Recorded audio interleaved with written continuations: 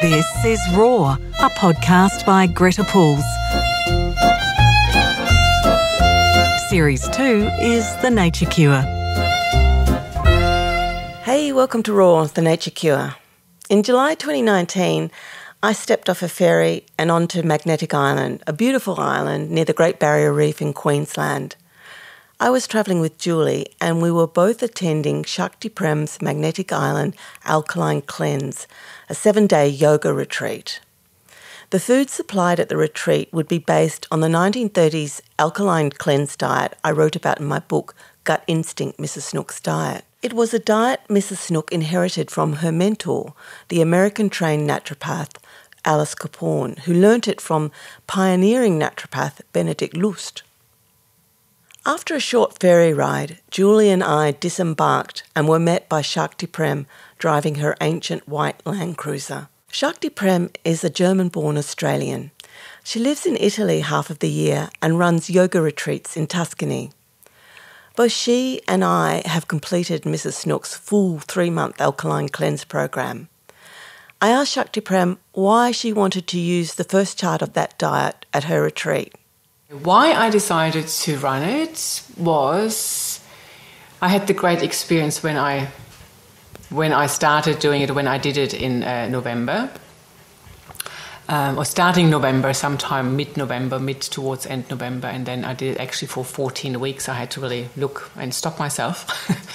Um, so I loved it. That was the first thing. But basically, to thinking of even running it was also prompted a little bit, I think, by some of the yoga students who saw me then every week and to the feedback, you know, that whatever, maybe it's not, I'm not very good in talking like this about myself, but like that there was glowing or, you know, more energy or I would just beam or some, they saw a physical difference. Not only that I lost a few kilos that I had put in, on before in Italy, but, um, so it was really, they saw um, a positive change that people wanted, that, oh, look, but I can't do it because, you know, um, I don't have the discipline.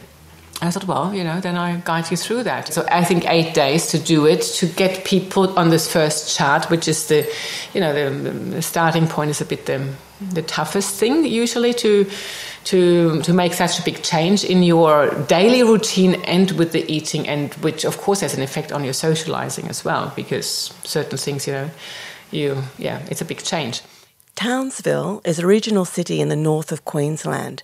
The ferry for magnetic island leaves from here. It is where maree the youngest of mrs snook's seven children lives.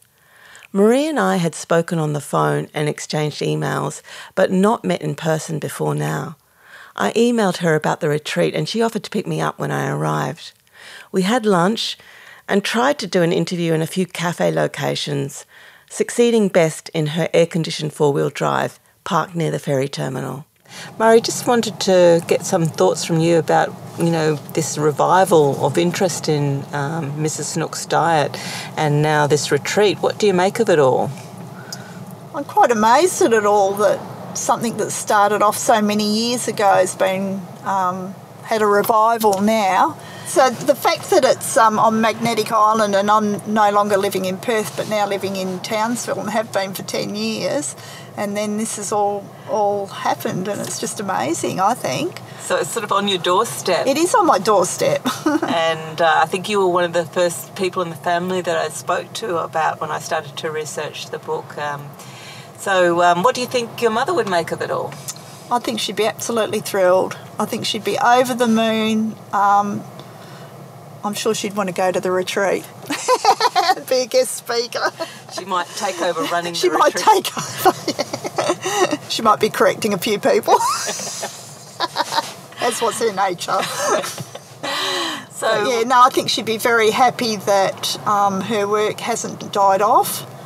Um, I think that was a big concern to her, especially um, her children not wanting to take it over, that her children had other plans for their own lives. So um, to have this interest in her lifelong work, um, I think she'd be tremendously proud. I mean, the idea of nutrition is so being so central to health, and that was really what she was all about, wasn't she? Exactly.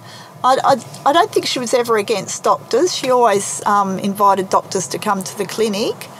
Um, but she truly believed that diet um, was the way to rectify any health issues, and um, I think she was right. I know she was right. and, and so what's interesting to me is when I see my friends and that, as um, I was brought up on almond milk, um, I was brought up not eating any red meat at all. We had minimal um, bits of chicken or fish in our diet, but apart from that, we we were vegetarian. And um, I truly believe, from the basis of that upbringing, is why I'm so healthy today. I've never had a cold. I've never been to the doctor. I've never had any illnesses. I'm perfectly healthy, and um, I really believe it's the background, the upbringing that's um, instilled that in my body. She was an extremely strong woman, a strong mother, a strong leader, and also I think when you believe in something wholeheartedly, and let's face it, she cured herself. So she could see the results of Alice Caporn's diet, and um, she knew it worked. And when you can see that and know that, how can you stop doing it? Mm. You know? So, she... like her whole um, life was to help other people. Um, uh, basically, teaching other people what she'd been taught. So, um, she'd she seen it work in her own life, and so she had, had proof. It's not like I just think of a doctor if they go to medical school and yeah, they learn all the theory and everything, but unless you've lived that life and been through that disease and seen the results of whatever therapies you use, then where's your conviction? Well, she had the conviction because she'd been through osteoarthritis and other things and she'd cured herself. So and it was quite unusual in those days for a woman to have her own business, to have her own career. Yes, yeah. But that was all driven by this need to. Especially with seven children. She would say, You need to do this. And if you're not going to do this, then I can't help you. So she was very adamant and strong and quite demanding that they had to follow the diet to the letter.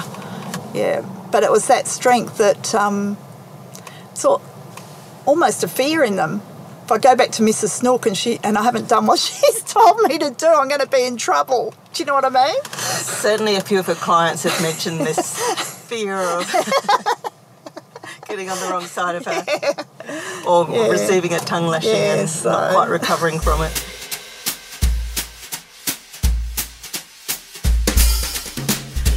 Magnetic Island was the name bestowed by the British sea explorer Captain James Cook. The story goes that on June the 7th in 1770, as Cook sailed past Magnetic Island, he reported a magnetic pull on the ship's compass. I mention this because I did not realise I needed to turn off the Wi Fi signal in my phone when recording. Otherwise, you get this awful intermittent crackling sound in the recording, which I did, briefly thinking maybe it was the magnetic forces of the island before I realised it was the Wi Fi. I've only been able to salvage small grabs of my interviews, but first up is Diane, a youthful 70 year old with a stylish blonde bob. There's probably two reasons that I can think of straight off the top of my head of why I came. Um, I have been having some gut problems in terms of frequent bowel movements, etc. Um, that I've been, you know, had advice on, and nothing seems to have worked to date. Um, so that's one reason. Um, but I also think that it makes perfect sense to me to give your gut a rest. When it works 24 7, and I'm now 71, it's, it's worked all that time um, relentlessly without stop. So I think, hey, you need a rest. so, so that's the physical reason. The other reason is that I have coffee every day. Um, several days a week, I'll have a glass of wine at five o'clock um, with my husband. That's you know a congenial time to have a glass of wine. Um, virtually eat what I want, um, not worrying that I'm a little bit overweight. Um, and I want to see how I respond to not having those things. I want to see if it's an addiction or if it's not. Um, there's only one way to find out, and, and this is, seems to me to be a lovely, safe environment to find it out. Um, rather than try to do it at home. What would you say your health um, is like? You know, I know you've mentioned some problems now, but overall, have you sort of had any particular issues that you've been dealing with at all over the years? No, I think to be honest, I'm very, very fortunate. I've had really good health. Um, I do have uh, uh, low thyroid activity, and I take thyroxine for that. Um, and blood pressure at the moment is fluctuating, but that could be for a whole number of reasons, or it could just be that I'm overweight. Um, I don't know. We'll see. Um, so, but, but other than that, you know, I, have been very fortunate that really my health's quite good. Mm. And what do you do to keep, you know, in terms of wellness? What do you? Um, well, firstly, I drink a lot of water. Rule number one when in doubt, drink a lot of water. Um, I take supplements and, um, and exercise. I do Pilates and yoga and some walking, um, aqua aerobics. Um, nothing much more strenuous than that. Um, and just, well, meditation is a very important part of my life too. And I think that keeps everything centered. So, so that's possibly number one, and then everything else follows from that. And I'm not suggesting for a moment that if you do all those things, you're going to have great health. It doesn't work that way. I know genetically some people you know, disposed to having all sorts of ailments, and I guess I've just been very fortunate up to this stage. But I'm conscious that it's health needs to be looked after. I don't take it for granted, particularly at this age. And I'm really conscious that I have to keep moving. Um, I get very stiff if I stop moving. So. And you make the time to do your meditation. It's a priority. Mm. It's um, everything else flows much better if I do that. Mm. It's that's the only reason. It's because my life's so much better. On day one of the retreat, Julie was quite cheerful. I knew that I wouldn't have the willpower to, to try it uh, at home, um, that I needed to go away and be in a sort of confined environment and supported. Um, yeah, so I'm interested to see, you know, what effects it has to lose a little bit of weight. Um, and yeah, and also also read a lot about the benefits of fasting, and so I think you know this diet in the initial stages certainly is you know is, but you know I think some of the benefits might be due to, to there's a fasting aspect as well as it being you know plant. Yeah, yeah. There's a calorie restriction or a reduced calorie intake for the first two yeah. weeks anyway on the on the chart. Um, and so, is there any particular issues that you're hoping that it might help you with? Well, yeah, I have a couple of chronic um, health conditions, um, arthritis due to in my ankle and a, few, a couple of other joints, and also um, reflux, uh, acid reflux. So I'm just it'd be interesting to see if the change in diet particularly helps my reflux and also that you know there's evidence that fast fasting is sort of gives your body time to, you know, stop and repair and decreases, you know, inflammatory markers. So that would help with my arthritis. So I'm interested to see what effect it has on those conditions and also, I guess, general energy levels and well-being. Um, and what sort of arthritis is it that you have? It's it's osteoarthritis due to a um, an old break injury. Yeah that's pretty tricky. but um, yeah, arthritis does run in my family. You know, family history of arthritis and allergies. So. At the retreat, we follow a daily routine where we gather at 7 a.m. in the kitchen and drink our morning juice in silence. And then we take a walk, also in silence. And then we do half an hour of yoga. And then it's time for a breakfast of fruit, just the one kind of fruit for each meal. Our days are punctuated by juice and meal times. We do yoga, meditation, and yoga nidra, We're silent 12 hours a day, from our evening meditation until breakfast the next morning. Our phone use is limited to 30 minutes a day at a set time. Every day we swim, hike, go for walks, and watch the sunsets. We stroll past beachside cafes, knowing our strict diet prevents us from entering.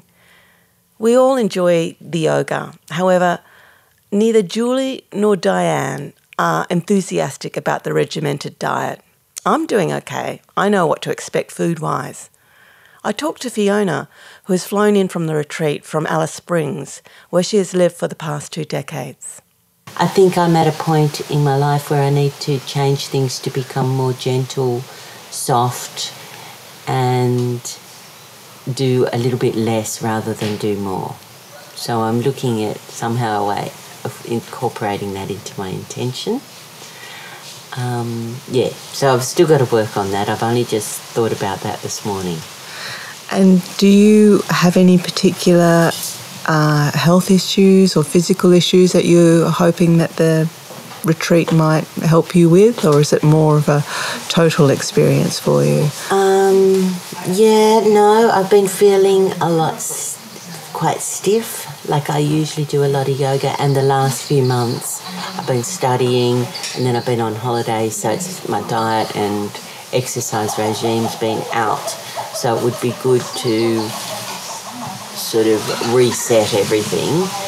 Um, not that I ate badly, but we've probably drunk more wine and eaten out more. And sitting around studying, I tend to eat more, and I feel like I put on a few kilos over winter. So it's also to lose some weight, but more about um, feeling better in my body through a cleaner diet for a while to get rid of that stiffness in the movement and also using diet to do that as well because I think when you have too much stodginess in your body you start feeling stiff as well. Um, and have you, do you, would you say that you're someone who um, takes care of yourself? Like, do you focus on wellness? Yeah, yeah. I teach yoga and massage, and um, yeah, so I swim and walk. Yeah, so I'm quite active. Have you always been like that, or is it something that you've? Yeah. Yeah. Yeah. Um, so in a way, this is actually toning it down a little yeah, bit. Yeah. Yeah. Yeah. And that's what you were looking for. Yeah, I think so. I think having a big cleanse out and uh, a moment where you decide from here on it's going to be a little bit different. By day three, after celebrating her birthday with what she calls cabbage juice, Diane has decided to lean into the retreat experience. The Diane, it's day three. Mm. Um, what do you think of um, the retreat so far? How have you found your experience? Uh, yeah, it's an interesting journey. I, I was thinking this morning it's like um, mountain climbing for the soul for me. I'm not a physical mountain climber. Um, but uh, I was interested how I sort of bounced into the whole thing, not knowing much about it. And then as days gone on, the reality of what I've actually signed up for has hit me. um, so I've taken it on as a personal challenge. And um, how are you feeling physically at the moment? Oh, physically quite well. Um, except for the fact that just before I came here, I somehow uh, hurt my right arm. I think it might be a nerve thing. So it means that I can't lift it terribly high, and that interrupts my yoga practice, which is rather distressing. Um, but so be it. I'll see what we can do about it while I'm here. I think I'm still on track with what I set out, and, and that is to find out my weaknesses and strengths in such a personal challenge where I can't just walk away when I feel like it. Um, I'm here for the duration, and um, and I have to stop the inner fight with myself, and and accept that, and not only accept it, but accept it with joy and gratitude. So on day three, I'm not quite there yet. What's been the toughest part for you so far? Um, maybe the discipline of the whole um, retreat. Um, and also, too, strangely enough, the focus on food.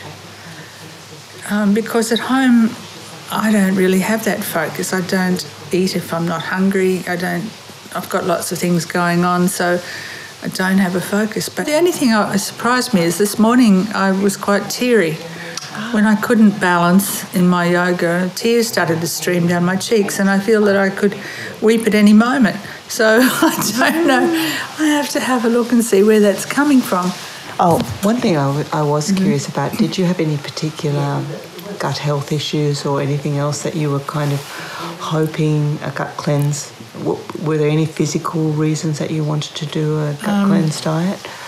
Or was it just about rebalancing and, you know, um, just well, part of a wellness? Yeah, there, there, were a couple of things that I don't know whether it will address or not, and I'm a bit doubtful about it.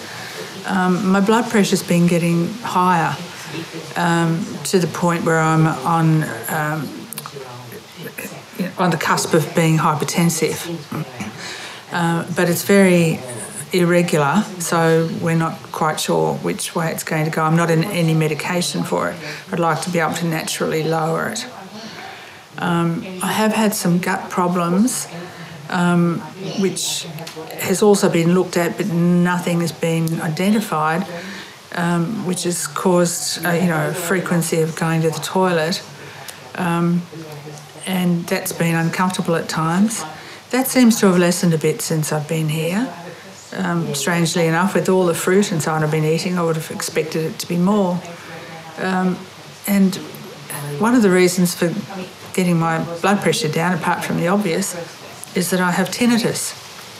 And, um, and that distresses me sometimes. And that also causes an Im- a lack of balance, which I think um, shows up in my yoga as well. So I was hoping that by if this could lower the blood pressure in some way, by actually losing weight, that will that will help. Um, that it might also ease the tinnitus. That's a big ask. I don't know that it will do that. Mm. We'll have a look at the end of the time. Do you think you'll notice a difference in eight days, or is it, um, uh, or you're hoping to? You, this is a journey to see whether you do notice a difference.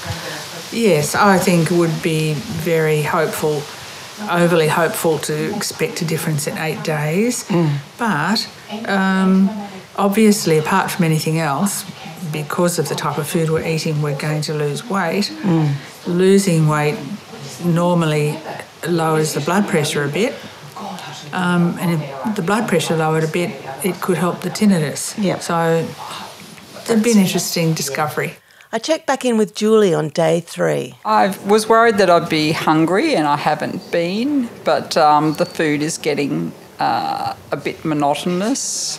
Um, and I'm starting to crave, you know, warm, savoury food, um, particularly at you know night when it's been um, colder. So that's getting a bit more uh, mentally challenging. And how did you, you? You mentioned yesterday that you had a lot of energy. Yeah, I, I felt good. Um, yeah, went and going snorkeling for a walk, and for a walk helped that. But um, then last night I sort of got uh, headachy and um, yeah, sort of hit a bit of a wall there and didn't sleep very well. So I'm not, uh, my energy levels are down today, definitely. The recording static got the best of my interview at this point with Julie, but she goes on to say she's not happy with the diet. She feels eating the grapes for dinner at 6 pm is upsetting her acid reflux. Julie has continued to take her acid reflux medication while on the retreat. She thinks about leaving the retreat early, but in the end, she stays. She does not eat the grapes in the evening. We soldiered on.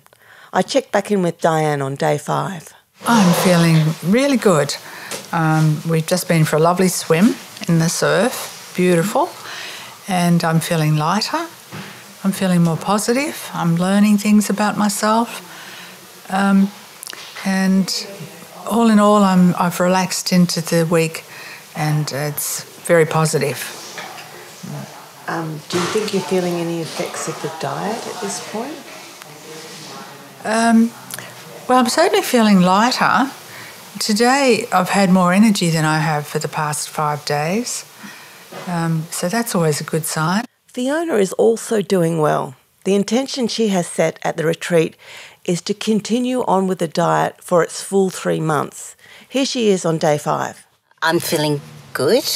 I'm feeling positive about uh, this week, meaning it's going to make a change ongoing for me, not just this week of a cleanse. That my intention before I came was that I would find some clarity and change the way I'm currently doing my work. And not just my work, but just I've started to become a little bit stagnant and stale in my um, in the way I am, in even not wanting to get out of bed and becoming a little bit lethargic and yeah, just stagnant and heavy. So I was hoping that this would change that, that I would come into the sunshine, do some yoga, have some healthy food, and that would lift. And it has. Um, but what I wasn't expecting was some of the more philosophical and thought provoking things like Shakti Prem mentions a word each day or each evening, which we think about overnight.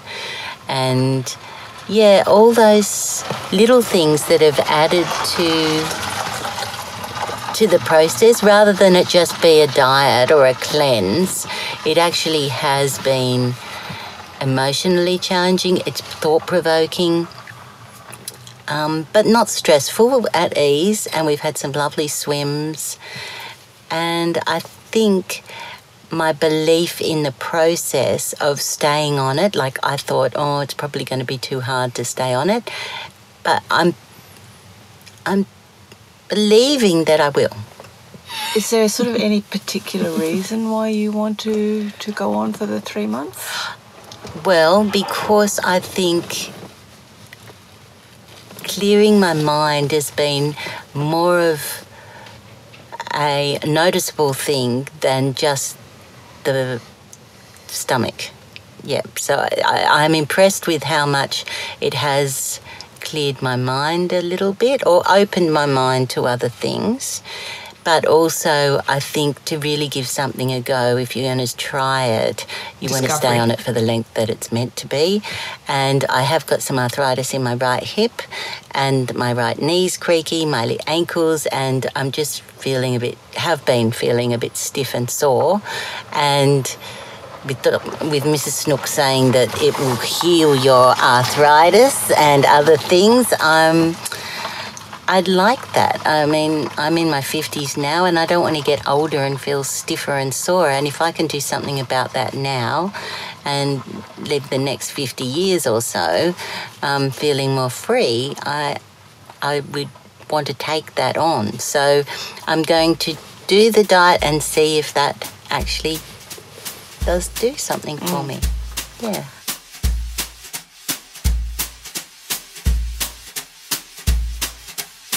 A week after the retreat, I caught up with Shakti Prem to ask her how she thought things went. Overall, I think it went really well. I think I, for me, I felt I was on the ball the whole time, but that's that's that's that's normal, I suppose. Um, it went well um,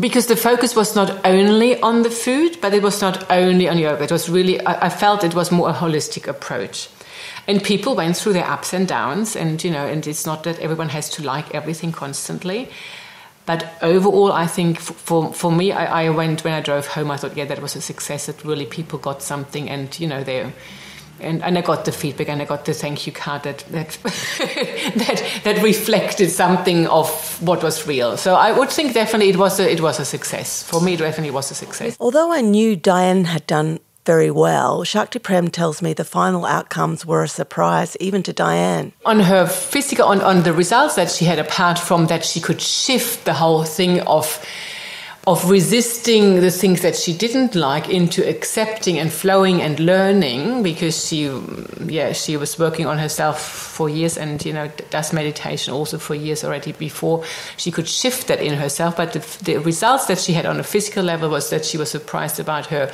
blood pressure went down and she always had really high blood pressure. I think she's taking medication i'm not quite sure.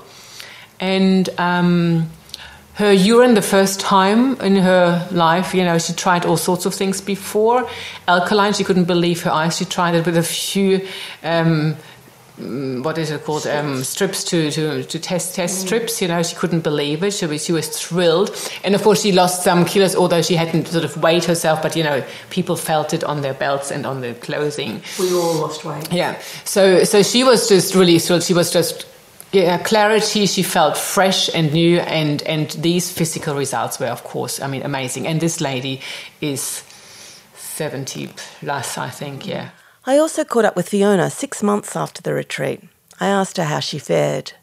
Well, uh, the retreat was great, and I went back to Alice quite inspired and stayed on the cleanse for probably another two months quite strictly and then started to add in other things and sort of gradually i mean now i'm not on the cleanse at all. Um, i guess i felt fantastic while i was on it and it was great uh, well, I don't know. I can't remember now why I ended up going off it in the end, but I think it was winter and it just became a little bit. I was getting back to work and yeah, it just became something that I wanted to incorporate some other things. So I just gradually incorporated it, a few things at a time and then gradually became back to a normal sort of diet. Although I probably have been eating less bread and red meat and all those sort of things since then. Yeah. So, um, did you, you, look like you've lost weight? So, did, did was that something that happened? Did you notice that at the as a um, outcome of the retreat? And the I, I think that did. Yeah, I de- definitely did. That sort of inspired me to keep going, and I felt better, and I just sort of gradually lost a bit of weight, which helped with my joints and stuff. And I think if I would have kept going with that, that would have been, I would have liked to have stayed on it longer. And I think the retreat's really good for that because it does help you stay more focused on it. Um, but it does become tricky to do once you're a bit long term down the track and you're doing other things. You had to plan for it and be prepared to shop and all that type of thing, which in a way sometimes makes it easier mm. because somebody else is telling you what to do and what you should eat and what you shouldn't. And I think that was sort of, in a way, a good thing yeah. because you don't have to think about it. You're just told, okay, this is what you're eating or this is what this week is going to be. So that was good. Um, I think it definitely was anti inflammatory. I think.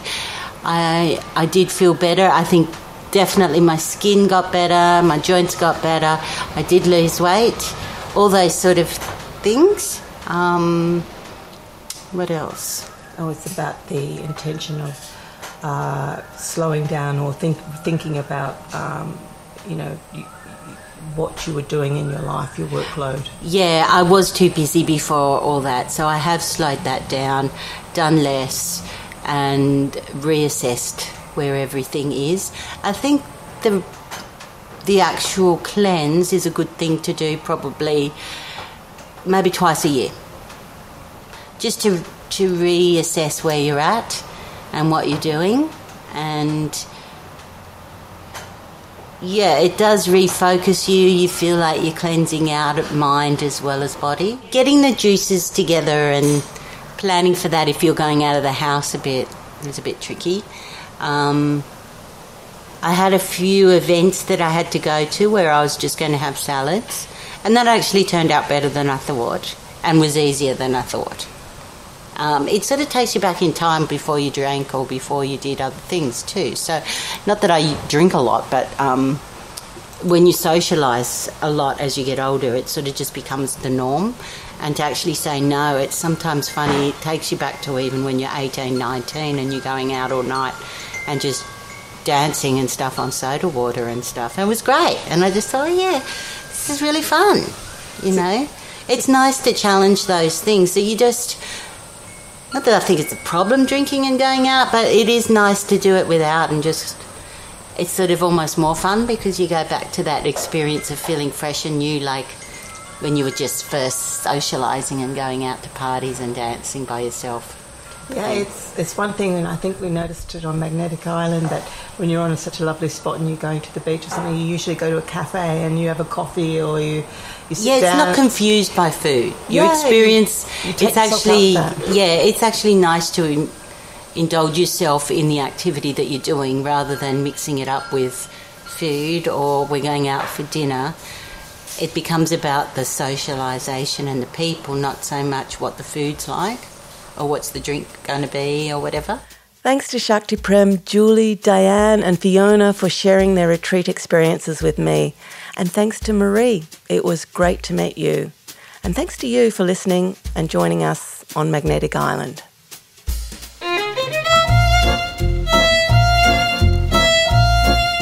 Raw is a podcast by Greta Puls. Subscribe to Raw the Nature Cure where you get your podcasts or visit the website, all one word, rawthepodcast.com.